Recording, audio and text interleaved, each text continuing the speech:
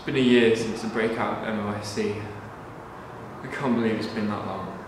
It feels like forever. I'm so glad we found each other when we did. Don't know what I'd have done without it.